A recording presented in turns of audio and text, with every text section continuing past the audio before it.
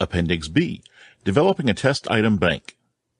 Developing a test item bank is one of the instructor's most difficult tasks. Besides requiring considerable time and effort, this task demands mastery of the subject, an ability to write clearly, and an ability to visualize realistic situations for use in developing problems. Because it is so difficult to develop good test items, a semi-permanent record of items that have been developed is desirable. One way of preserving test items is to record the test item along with the analysis of each question on a set of cards. If questions are maintained on a computer, provisions should be made to include appropriate analysis gathered, thus creating a useful database. In either case, the result is a pool of test questions. As long as precautions are taken to safeguard the security of test bank items, this collection lightens the instructor's burden of continuously preparing new items. Figure B-1. Written test items. Supply type. Supply type test items require the learner to furnish a response in the form of a word, sentence, or paragraph. The supply type item requires the learner to organize knowledge. It demands an ability to express ideas and is thus valuable in measuring the learner's generalized understanding of a subject. For example, the supply type item on a pre-solo knowledge test can be very helpful in determining whether the pilot in training has adequate knowledge of procedures. There are several disadvantages to supply type items. First, they cannot be graded with reliability. The same test graded by different instructors could be assigned different scores. Even the same test graded by the same instructor on consecutive days might be assigned altogether different scores. Second, supply type items require more time for the learner to complete and more time for the instructor to grade. Selection type. Selection type test items require the learner to select from two or more alternatives. There is a single correct response for each item. It assumes all learners should learn the same thing and relies on rote memorization of facts. Written tests made up of selection type items are highly reliable, meaning that the results would be graded the same regardless of the learner taking the test or the person grading it. In fact, this type of test item lends itself very well to machine scoring. Also, selection type items make it possible to directly compare learner accomplishment. For example, it is possible to compare the performance of learners within one class to learners in a different class, or learners under one instructor with those under another instructor. By using selection type items, the instructor can test on many more areas of knowledge in a given time than could be done by requiring the learner to supply written responses. This increase in comprehensiveness can be expected to increase validity and discrimination. Another advantage is that selection type tests are well adapted to statistical item analysis. True false. The true false test consists of a statement followed by the opportunity for the learner to choose whether the statement is true or false. This item type has a wide range of usage. It is well adapted to testing knowledge of facts and details, especially when there are only two possible answers. The chief disadvantage is that true-false questions create the greatest probability of guessing. Also, true-false questions are more likely to utilize rote memory than knowledge of the subject. In general, therefore, true-false questions are not considered valid, i.e., they do not measure what they are intended to measure.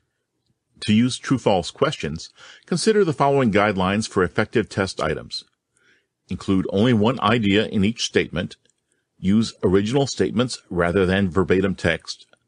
Make the statement entirely true or entirely false. Avoid the unnecessary use of negatives, which tend to confuse the reader. Underline or otherwise emphasize the negative words if they must be used. Avoid involved statements. Keep wording and sentence structure as simple as possible. Make statements both definite and clear. Avoid the use of ambiguous words and terms, some, any, generally, most times, etc. Use terms which mean the same thing to all learners whenever possible. Avoid absolutes, all, every, only, no, never, etc. These words are known as determiners because they provide clues to the correct answer. Avoid patterns in the sequence of correct responses because learners can often identify the patterns. Make statements brief and approximately same length. State the source of a statement if it is controversial. Sources have differing information. Multiple choice. A multiple choice test item consists of two parts. The stem, which includes the question, statement, or problem, and a list of possible responses. Incorrect answers are called distractors. When properly devised and constructed, multiple choice items offer several advantages that make this type more widely used and versatile than either the matching or the true-false items. Figure B-2. Multiple choice test questions can help determine learner achievement, ranging from acquisition of facts to understanding, reasoning, and ability to apply what has been learned.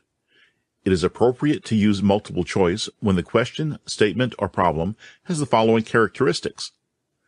Built-in and unique solution, such as a specific application of laws or principles. Wording of the item is clearly limiting, so that the learner must choose the best of several offered solutions rather than a universal solution. Several options that are plausible or even scientifically accurate several pertinent solutions, with the learner asked to identify the most appropriate solution. Three major challenges are common in the construction of multiple choice test items. One is the development of a question or an item stem that must be expressed clearly and without ambiguity. A second is that the statement of an answer or correct response cannot be refuted. Finally, the distractors must be written in such a way that they are attractive to those learners who do not possess the knowledge or understanding necessary to recognize the keyed response. A multiple choice item stem may take one of several basic forms. A direct question followed by several possible answers, an incomplete sentence followed by several possible phrases that complete the sentence, a stated problem based on an accompanying graph, diagram, or other artwork, followed by the correct response and the distractors. The learner may be asked to select the one correct choice or completion, the choice that is an incorrect answer or completion, or the one choice that is the best answer option presented in the test item. Beginning test writers find it easier to write items in the question form. In general, the form with the options as answers to a question is preferable to the form that uses an incomplete statement as the stem. It is more easily phrased and it is more natural for the learner to read. Less likely to contain ambiguities, it usually results in more similarity between the options and gives fewer clues to the correct response. When multiple choice questions are used, three or four alternatives are generally provided. It is usually difficult to construct more than four convincing responses. That is, responses which appear to be correct to a person who has not mastered the subject matter. Learners are not supposed to guess the correct option. They should select an alternative only if they know it is correct. An effective means of diverting the learner from the correct response is to use common learner errors as distractors. For example, if writing a question on the conversion of degrees Celsius to degrees Fahrenheit Providing alternatives derived by using incorrect formulas would be logical, since using the wrong formula is a common learner error. Items intended to measure the rote level of learning should have only one correct alternative. All other alternatives should be clearly incorrect. When items are to measure achievement at a higher level of learning, some or all of the alternatives should be acceptable responses, but one should be clearly better than the others. In either case, the instructions given should direct the learner to select the best alternative. To use multiple choice questions, consider the following guidelines for construction of effective test items. Make each item independent of every other item in the test. Do not permit one question to reveal or depend on the correct answer to another question. Design questions that call for essential knowledge rather than for abstract background knowledge or unimportant facts. State each question in language appropriate to the learners. Include sketches, diagrams, or pictures when they can present a situation more vividly than words. They generally speed the learning process, add interest, and help to avoid reading difficulties and technical language. When a negative is used, emphasize the negative word or phrase by underlining, boldfacing, italicizing, or printing in a different color. Avoid questions containing double negatives, which invariably cause confusion. Avoid trick questions, unimportant details, ambiguities, and leading questions that confuse and antagonize the learner. If attention to detail is an objective, detailed construction of alternatives is preferred to trick questions. Stems. In developing the stem of a multiple choice question, following principles should be utilized. Figure B-3. The stem should clearly present the central problem or idea. The function of the stem is to set the stage for the alternatives that follow. The stem should contain only material relevant to its solution, unless the selection of what is relevant is part of the problem. The stem should be worded in such a way that it does not give away the correct response. Avoid the use of determiners such as clue words or phrases. Put everything that pertains to all alternatives in the stem of the item. This helps to avoid repetitious alternatives and saves time. Generally avoid using a or an at the end of a stem. This may give away the correct choice.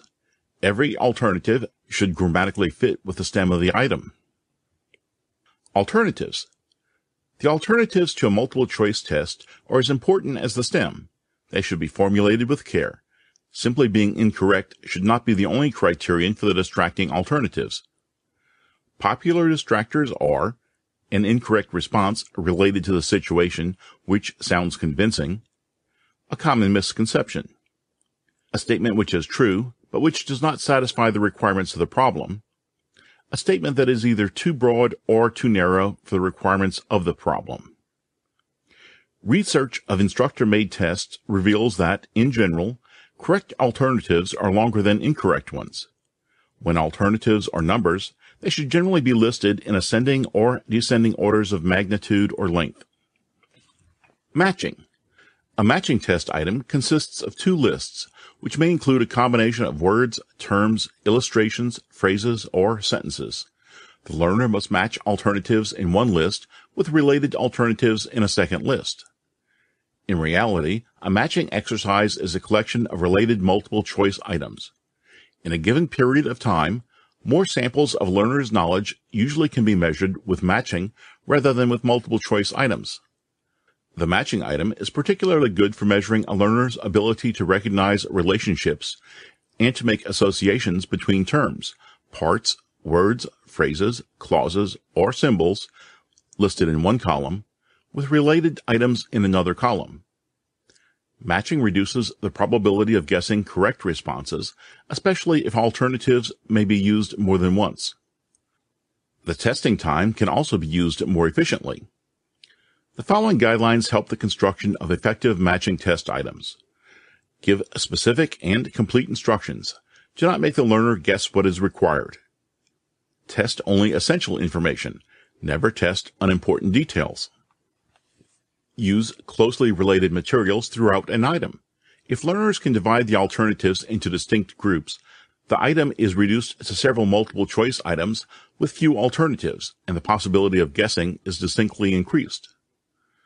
Make all alternatives credible responses to each element in the first column, whenever possible, to minimize guessing by elimination. Use language the learner can understand. By reducing language barriers, both the validity and reliability of the test is improved. Arrange the alternatives in some sensible order. An alphabetical arrangement is common. Matching type test items are either equal column or unequal column. An equal column test item has the same number of alternatives in each column. When using this form, always provide some letters in the response column to be used more than once, or not at all, to preclude guessing by elimination. Unequal column type tests have more alternatives in the second column than in the first, and are generally preferable to equal columns.